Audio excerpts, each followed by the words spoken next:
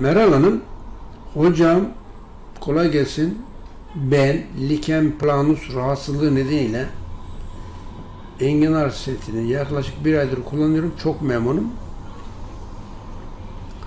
Onu kullanırken panik atak ilaçlarımı bıraktım.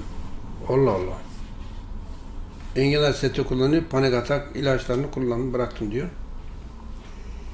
Yaklaşık 20 yıldır bu ilaçları kullanmak zorunda kaldım. Maalesef ama maalesef her bahar mevsimi geldiğinde tekrar tekrar panik atak belirtileri oluşuyor. İnşallah onu da yeneceğim. Lekem planus rahatsızlığımı yeneceğim inanıyorum. İyi ki varsınız. Allah sizden razı olsun demiş.